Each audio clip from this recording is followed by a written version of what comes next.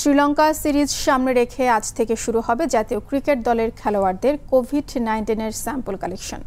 ক্রিকেটারদের বাসায় গিয়ে নমুনা সংগ্রহ করা হবে বলে জানিয়েছেন বিসিবির ক্রিকেট অপারেশনস কমিটির চেয়ারম্যান আকরাম খান।